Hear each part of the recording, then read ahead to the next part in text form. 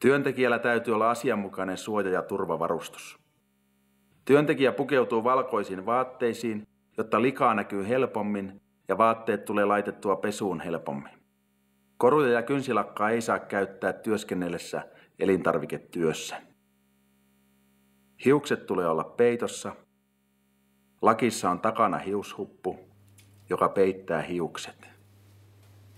Lihanleikkaajan tulee käyttää viiltosuojaessua, joka estää puukon mahdolliset lipsahdukset.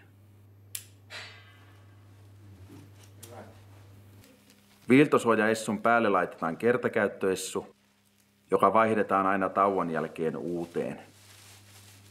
Käytetään kertakäyttöisiä hihansuojia, jotka vaihdetaan tarvittaessa. Käsin laitetaan ensin puuvillahanska ja toiseen kuin veitsikäteen rautahanska tai viiltosuojahanska. Veitsikäteen laitetaan kertakäyttöhanska puuvillahanskan päälle, joka vaihdetaan aina tauon jälkeen uuteen.